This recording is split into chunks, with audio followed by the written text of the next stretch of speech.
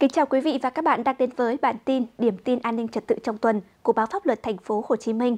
Bản tin được phát trên website plo.vn, đồng thời được phát trên các kênh Facebook, YouTube, TikTok của báo Pháp luật thành phố Hồ Chí Minh. Bản tin hôm nay, ngày 24 tháng 8 năm 2024 sẽ có những thông tin đáng chú ý sau đây.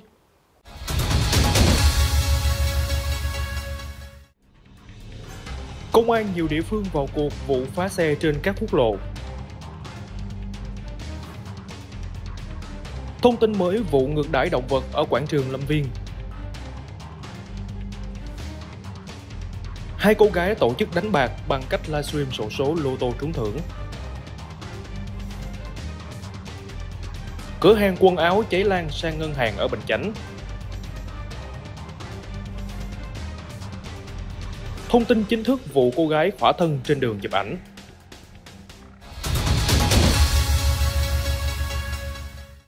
Ngay sau đây, mời quý vị và các bạn cùng theo dõi những thông tin chi tiết.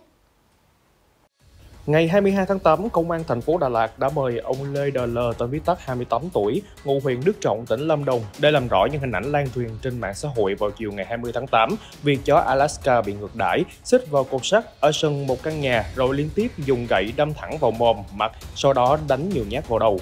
Cụ thể, Công an thành phố Đà Lạt xác định L sở hữu 5 con chó Alaska mua về với giá 300 triệu để cho khách thuê chụp ảnh tại quảng trường Lâm Viên. Cũng theo L, con chó bị đánh trong clip tên Bôn là con mới mua hồi tháng 7 với giá 25 triệu đồng và hùng vốn kinh doanh chung với bà BTTT, tên viết tắt 39 tuổi, ngụ phường 9 thành phố Đà Lạt. Theo tường trình của L, bà T đã giao con trai 13 tuổi đang là học sinh quản lý chó để cho khách chụp ảnh. Ngày 20 tháng 7, nam sinh này bị con chó nói trên cắn khi đang dắt cho khách chụp ảnh nên đã đánh rồi mang về nhốt vào chuồng trong hẻm cầu đúc. Tại đây, thiếu niên 13 tuổi đã đánh con chó như clip lan truyền. Công an thành phố Đà Lạt tiếp tục xác minh, làm rõ các hành vi liên quan và xử lý theo quy định. Ngày 23 tháng 8, Công an xã Vĩnh Lộc B, huyện Bình Chánh, thành phố Hồ Chí Minh lấy lời khai, kiểm tra chất kích thích với đôi nam nữ thuê phòng, khách sạn trên địa bàn. Khoảng 21 giờ ngày 22 tháng 8, người dân sống gần khách sạn trên đường Đê Bao 2 tháng 3, xã Vĩnh Lộc B nghe tiếng động mạnh. Nhiều người tới xem thì phát hiện kính cửa sổ ở lầu 3 khách sạn bị vỡ. Một nam thanh niên đang ngồi trên khung sắt ở độ cao nhiều mét. Người này có biểu hiện nghi ngáo đá, tay bám vào sợi dây cáp đu đưa. Sau một lúc lâu đu bám trước mặt tiền khách sạn, nam thanh niên leo trèo qua lại trên các nóc nhà người dân. Khi người này leo đi xa tiếp đất thì bị công an khống chế đưa về trụ sở. Vụ việc gây náo loạn các khu dân cư trong đêm. Theo người dân, nam thanh niên trước đó đã cùng với một cô gái tới thuê phòng khách sạn. Các hai đang được công an lấy lời khai, xử lý.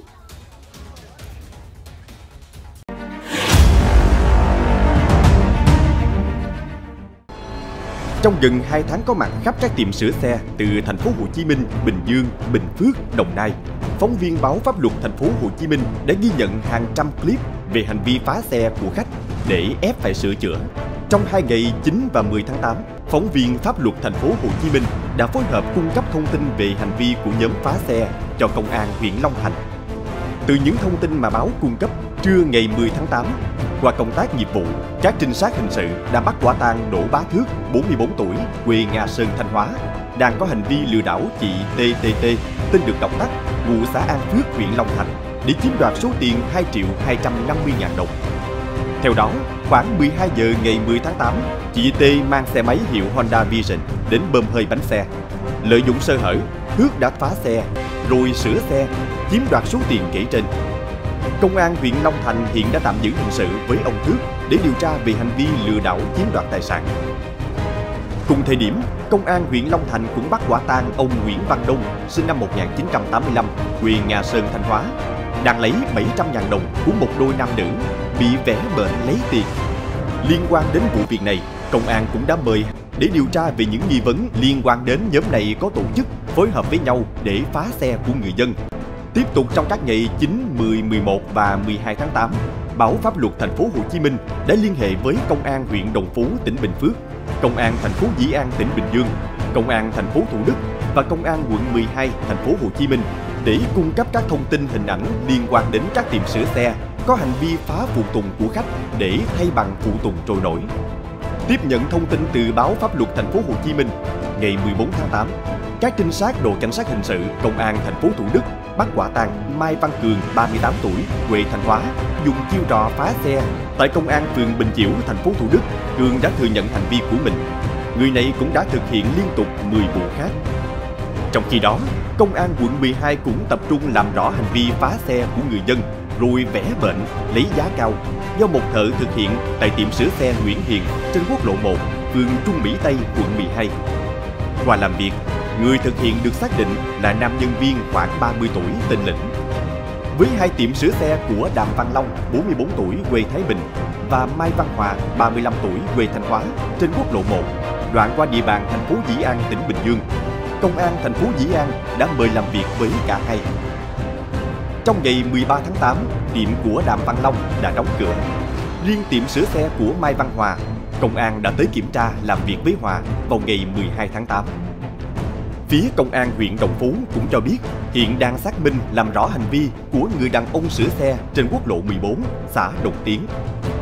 Thông tin hành vi phá xe của tiệm ông Thước, những người liên quan ở Long Thành, Đồng Nai và các tiệm sửa xe thất đức ở thành phố Hồ Chí Minh, Bình Phước, Bình Dương sẽ được chúng tôi tiếp tục phản ánh chi tiết trong tuyến bài điều tra trên các số báo tiếp theo. Mời quý vị đón xem.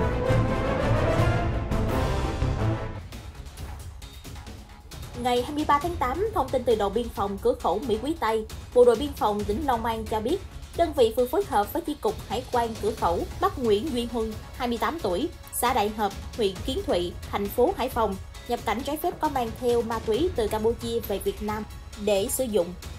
Trước đó vào lúc 16 giờ 15 phút ngày 21 tháng 8, tại trạm biên phòng cửa khẩu Mỹ Quý Tây thuộc địa bàn ấp 4, xã Mỹ Quý Tây, huyện Đức Huệ, tỉnh Long An, tổ kiểm tra xuất nhập cảnh thuộc trạm biên phòng cửa khẩu Mỹ Quý Tây phối hợp với chi cục hải quan cửa khẩu Mỹ Quý Tây kiểm tra xuất nhập cảnh, phát hiện một người nhập cảnh về Việt Nam không có đầy đủ giấy tờ hợp lệ.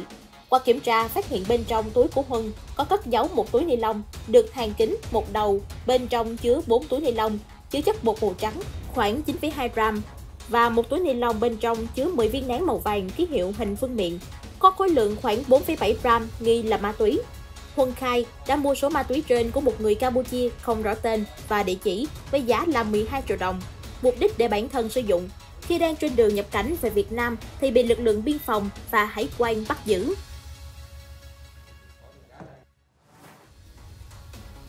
Ngày 22 tháng 8, Cơ quan An ninh điều tra Công an tỉnh Bình Thuận thi hành lệnh bắt bị can đã tạm giam đối với Nguyễn Thị Việt, 28 tuổi để điều tra về hành vi mua bán trái phép vũ khí quân dụng. Theo đó, tháng 11 năm 2023, Việt gặp Võ Đại Đức cùng ngụ thị trấn Phan Rí Cửa, huyện Tuy Phong trao đổi về việc mua bán súng đạn. Sau khi thỏa thuận, Việt liên hệ với một tài khoản Facebook mua một khẩu súng với giá 4,5 triệu đồng và được người bán súng cho 500.000 đồng tiền hoa hồng.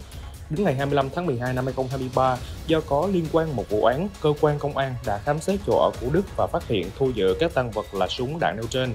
Võ Đại Đức khai mua súng và đạn của Nguyễn Thị Việt Ngày 22 tháng 4 năm 2024, cơ quan an ninh điều tra ra quyết định khởi tố bị can đối với Nguyễn Thị Việt về tội mua bán trái phép vũ khí quân dụng và áp dụng biện pháp cấm đi khỏi nơi cư trú. Tuy nhiên, gần 3 tháng sau, tháng 7 năm 2024, Nguyễn Thị Việt bị công an tỉnh Ninh Thuận bắt quả tang tàn trữ trái phép chất ma túy và bị cơ quan cảnh sát điều tra công an tỉnh Ninh Thuận khởi tố về tội tàn trữ trái phép chất ma túy. Qua xác minh, trước đó vào tháng 12 năm 2023, Nguyễn Thị Việt đã bị tòa án nhân dân cấp cao tại thành phố Hồ Chí Minh tuyên phạt 8 năm tù giam về tội tàn trữ trái phép chất ma túy và hiện đang trong thời gian hoãn thi hành án phạt tù. Căn cứ quy định Bộ luật tố tụng hình sự, cơ quan an ninh điều tra đã ra quyết định thay thế biện pháp ngăn chặn, lệnh bắt bị can để tạm giam đối với Nguyễn Thị Việt nhằm ngăn chặn việc tiếp tục thực hiện hành vi phạm tội. Công an tỉnh Quảng Nam cho biết, Công an huyện Hiệp Đức đang tạm giữ hai người tổ chức đánh bạc bằng cách lên Facebook livestream số số lô tô trúng thưởng. Trước đó, Công an huyện Hiệp Đức phát hiện trên địa bàn xuất hiện nhiều người đánh bạc trực tuyến thông qua việc mua số lô tô trúng thưởng tại các phiên livestream trên Facebook. Tối ngày 18 tháng 8, Công an huyện Hiệp Đức đột nhập tiệm làm móng Duyên Dương, khối phố An Tây, thị trấn Tân Bình, Hiệp Đức, bắt quả tang TTIL, tên viết tắt 26 tuổi, và DDMD, tên viết tắt 30 tuổi, cùng ngụ khối phố An Tây, đang tổ chức cho 133 người đánh bạc trực tuyến bằng hình thức livestream sổ số lô tô trúng thưởng. Tại hiện trường, công an đã thu giữ số tiền mặt hơn 3,3 triệu đồng và phát hiện tiền chuyển khoản cùng nhiều thiết bị, tài liệu liên quan. Công an khuyến cáo người dân không tham gia đánh bạc bằng bất kỳ hình thức nào, đặc biệt trên không gian mạng. Cơ quan cảnh sát điều tra công an thành phố Phan Thiết tỉnh Bình Thuận đã ra quyết định khởi tố vụ án khởi tố bị can và tiến hành lệnh bắt bị can để tạm giam đối với Nguyễn Thành Trung, 40 tuổi, trú xã Hành Chính, huyện Hàm Thuận Bắc để điều tra về tội cướp giật tài sản. Trước đó, vào khoảng 17 giờ 35 phút ngày 11 tháng 8, anh LHH tên viết tắt điều khiển xe đạp điện chở con gái nhỏ đang lưu thông trên đường Nguyễn Tất Thành, thành phố Phan Thiết thì bị một người đàn ông đi xe máy từ phía sau áp sát giật sợi dây chuyền vàng. Trích xuất camera, công an Phan Thiết xác định kẻ cướp giật tài sản sử dụng biển số xe giả và điều khiển xe máy chạy vòng vèo nhiều nơi. Sau đó, người đàn ông này đã thay đổi quần áo biển số xe. Sau 5 ngày khẩn trương truy xét, đến ngày 16 tháng 8, công an thành phố Phan Thiết đã xác định được nhân thân của kẻ cướp giật tài sản và tiệm vàng mà tên cướp mang dây chuyền tẻ bán với giá gần 40 triệu đồng. Theo công an thành phố Phan Thiết, Nguyễn Thành Trung vừa mới ra tù về tội cướp giật tài sản và có 4 tiền án, trong đó một tiền án cố ý gây thương tích và tiền án cướp giật tài sản. Theo báo cáo từ Phòng Văn hóa và Thông tin huyện Bầu Bàng, sáng ngày 21 tháng 8, đơn vị này cùng với Thanh tra Sở Thông tin và Truyền thông và Công an huyện Bầu Bàng đã tiến hành làm việc với ông Nguyễn Trường Tê, tên viết tắt, sinh năm 1977, hộ khẩu thường trú tại thành phố Hồ Chí Minh, một người trong nhóm chụp ảnh cô gái thỏa thân trên đường Mỹ Phước Tân Vạn, đoạn qua Mỹ Phước Bầu Bàng, thuộc xã Lai Hưng, huyện Bầu Bàng, tỉnh Bình Dương. Tại buổi làm việc, ông Tê cho biết ngày 15 tháng 3 năm 2024, người này cùng với 4 người khác, trong đó có người nước ngoài, từ thành phố Hồ Chí Minh lên Bình Dương để chụp ảnh nghệ thuật trong vườn cao su. Cô gái thỏa thân là một người mẫu ảnh, được cả nhóm thuê và trả tiền công với giá là 1,5 triệu đồng cho 2 tiếng chụp hình. Sau khi chụp ảnh trong vườn cao su, nhóm của ông Tê bước ra xe để đi về. Lúc này ông Tê thấy con đường vắng lặng với hàng cây thẳng tắp nên sẵn máy ảnh, ông Tê bảo người mẫu đứng vào vị trí bìa vườn cao su để chụp thêm vài tấm ảnh. Ông Tê khẳng định những bức ảnh được chụp vào ngày 15 tháng 3 năm 2024 là những ảnh nghệ thuật với mục đích là làm kỷ niệm. Ông Tê cũng cam kết không phát tán trong bất kỳ nền tảng mạng xã hội nào. Như BLO trước đó đã đưa tin, ngày 20 tháng 8 xuất hiện clip một nhóm thanh niên đứng trên vỉa hè thuộc đường Mỹ Phước, Tân Vạn, chụp hình một cô gái thỏa thân, khiến nhiều người dân bức xúc vì hình ảnh gây phản cảm. Ngày 23 tháng 8, lực lượng chữa cháy chuyên nghiệp thuộc Công an tỉnh Ninh Thuận phong tỏa hiện trường, điều tra vụ cháy ô tô dừng nằm xảy ra trên quốc lộ 1, đoạn qua xã Lợi Hải, huyện Thuận Bắc. Theo ông Nguyễn Chiến, tài xế cho biết xe dừng nằm biển số tỉnh Lâm Đồng do mình cầm lái đang hành trình từ Bình Định đi Bảo Lộc Lâm Đồng. Khi đến đoạn xã Lợi Hải thì dừng để trả khách thì bất ngờ phát hiện xe cháy nên hô hoáng mọi người thoát khỏi xe. Theo lời kể của một nữ hành khách, khi phụ xe đang lấy đồ cho một khách xuống thì phát hiện khối bốc ra từ gầm. Lúc đó mọi người hô hoáng kêu gọi những hành khách khác thoát khỏi xe kịp thời. May mắn không có ai bị thương, nữ hành khách cho biết. Theo tài xế Chiến, vụ cháy may mắn không làm ai bị thương nhưng toàn bộ đồ đạc của hơn 30 người trên xe bị cháy rụi cùng xe khách. Ngày 23 tháng 8, Công an huyện Bình Chánh, thành phố Hồ Chí Minh lập hồ sơ điều tra vụ cháy trên đường Nguyễn Thị Tú, xã Vinh Lộc B, khiến cửa hàng bán quần áo và trụ ATM của một ngân hàng bị thiệt hại. Thông tin ban đầu, hơn 4 giờ sáng ngày 23 tháng 8, người dân thấy cửa hàng quần áo và trụ ATM cạnh cửa hàng trên đường Nguyễn Thị Tú, xã Vĩnh Lộc B có khói lửa bốc lên nên hô hoáng. Người bên trong cửa hàng bán quần áo mở cửa thoát ra ngoài cùng bảo vệ ngân hàng. Người dân xung quanh huy động bình chữa cháy dập lửa.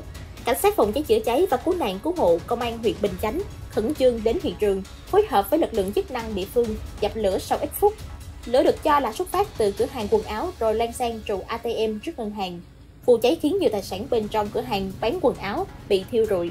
Khu vực trước ngân hàng vị trí đặt máy ATM bị cháy. Máy ATM hư hỏng, biến dạng. Ngoài ra, vụ cháy cũng làm cho các đường dây điện, các bó cáp viễn thông trên cao bị ảnh hưởng, đứt.